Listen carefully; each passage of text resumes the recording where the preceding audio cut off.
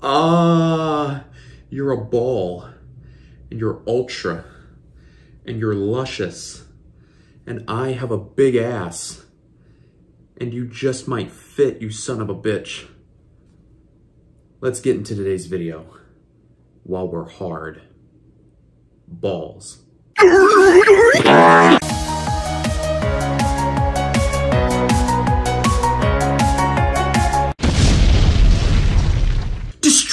Destroy the living boo-boo stain out of that subscribe button so that we can get to our goal of 1,000 subscribers. Ladies and gentlemen, if you're new to the channel and you haven't seen one of the little of these skits yet, well, uh, prepare to have nightmares tonight or tomorrow night, whenever the fuck you watch this video. I have people watching videos that I made fucking five months ago asking me about something I said. I'm like, I don't know what the fuck I had for breakfast this morning. So smash that subscribe and like button so we can get to our fucking goal as my computer turns off because I need this for some fucking light because my room sucks ass when it comes to light. Still trying to get a fan up in here. So let's talk about what the title of the video says, and that is that we are overdue for a tier zero format and my anus will not be relaxed until we get a tier zero format. Now, all jokes aside, I say this because of the fact that it seems like every few years we tend to get a tier zero format in Yu-Gi-Oh! And despite what many people say about tier zero formats, yes, they are very bad for the game. At the same time, as unhealthy as they are, they're also very good for the game because it identifies big issues, whether it be cards or decks, archetypes as a whole, that Konami needs to hit on an adjusted list, as they called it fucking years ago. It was an emergency ban list. Let's just call it what it is. Um, and so it, they can hit things like that, archetypes, they can hit specific cards, you know, uh, Verte Anaconda, Dragoons, Mystic Mine, Halqifibrax, things like that come into play. And I say that we are near a tier zero format because we have Darkwing Blast right around the corner that has the brand new, as I like to call it, Kshatriy La archetype, which is based basically on Shangri-La. Um, if you're not familiar with like world history, essentially Shangri-La was like this mythical city that people like grew 10 fucking heads and I don't know, grew crops and made pyramids and shit. It's it's like a folk tale, basically, from what I understand. so basically, it, it's based on Shangri-La, which is really cool. Um, I mean, even Call of Duty made a zombies map based on Shangri-La because it's it's just a really cool concept. The problem is, is that in Darkwing Blast, the set as a whole is really not that good. You know what I mean? Like, we're getting the Kashatri stuff. We're getting Blackwing support, which I'm sorry if you love Blackwings. Blackwings are still going to be booty booty butt cheeks until the cows come home. Um, and then we're also getting the new Bystial archetype, which has monsters that are quick effects or that have quick effects to special summon them from the hand by banishing a light or dark if the opponent controls a monster. So you don't like Tearlaments playing on your turn? they're going to be able to do it more and they're going to be able to be hard and they're going to have these big ass fucking dragons that just stare you down and they're like, hey, you to eat that pizza, bro? like, like literally they're just to be sitting there going, hey, bro, you to finish that pizza?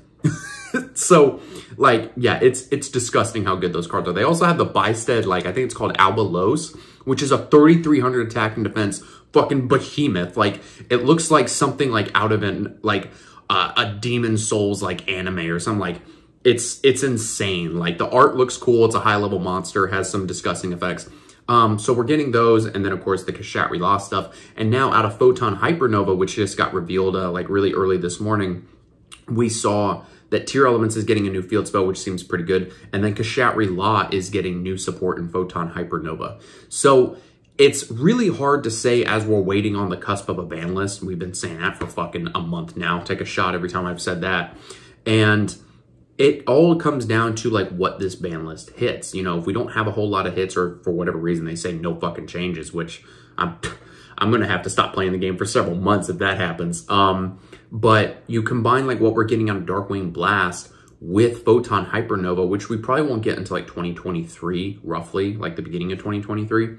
Um, and so when you factor all of that in, it's it, it's it's easy to make an argument that we may be on the cusp of a tier zero format where like we get all these new cards with Tearlaments at full power, not to mention Magnificent Mavens that's going to have the milling support.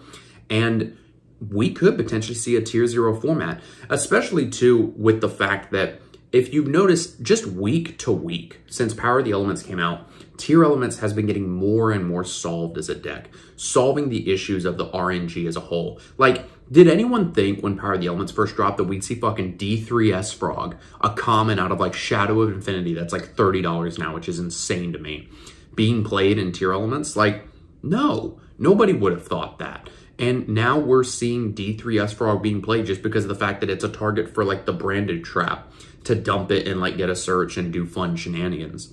And so, you know, everybody thought that Sprite was going to be a tier zero deck. Turned out to just be tier one. And even then, it's just being splashed into different decks as like an engine.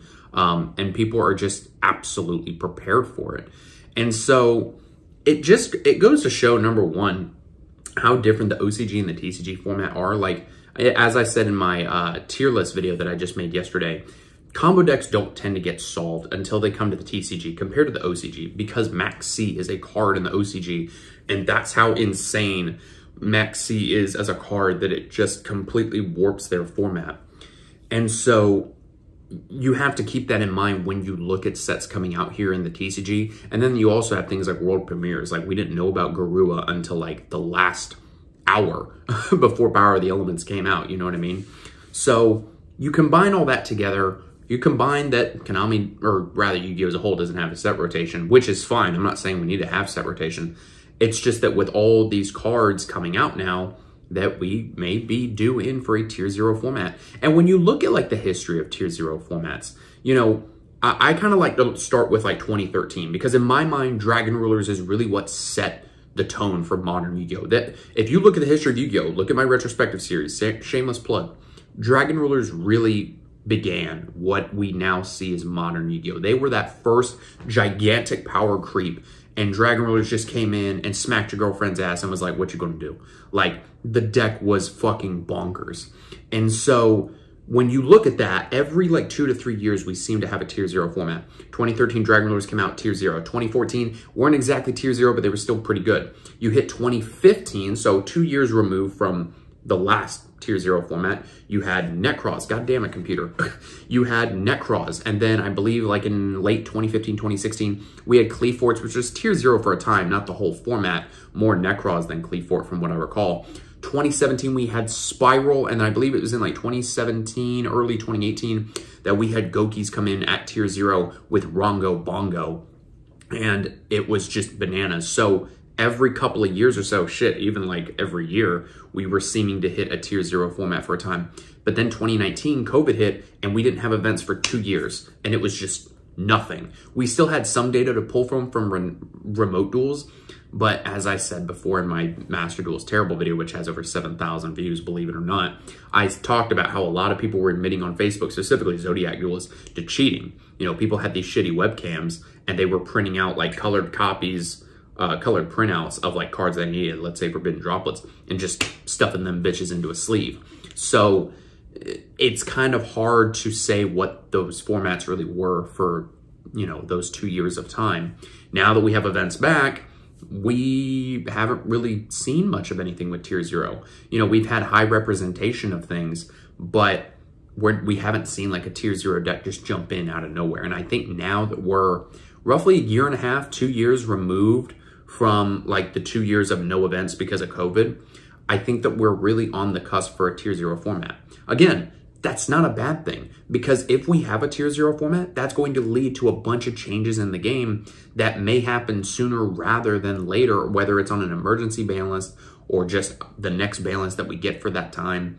You know, it's it's hard to say at this point. And I'm not saying that, you know, we're going to have a tier zero format in like a month five months or even a year. I'm saying at some point, probably within the next couple of years, I would I would say two years, we're going to have a tier zero format. It's just going to happen based upon the past experiences of the game and things that have happened. And I think COVID really threw a monkey wrench into that. And that's why we didn't see any sort of tier zero deck crop up. Not that they should happen. It's just, it's eventually going to happen because that's just how Yu-Gi-Oh! is. So again, not a bad thing because it just means that a lot of stuff in the game will change. And really, I feel like a majority of the community likes big changes in the game. They like seeing a lot of things happen on the balance, not just a couple hits. So guys, please let me know what you think down in the comments below. Are you looking forward to a tier zero format? Do you think that we're overdue for a tier zero format? Or am I just blowing a ultra ball out of my ass Although I have been playing Pokemon Soul Silver, so that's been fun. Also, the trade that you do from a chop, that thing is fucking busted. Thank you guys for watching, and I will see you in the next video.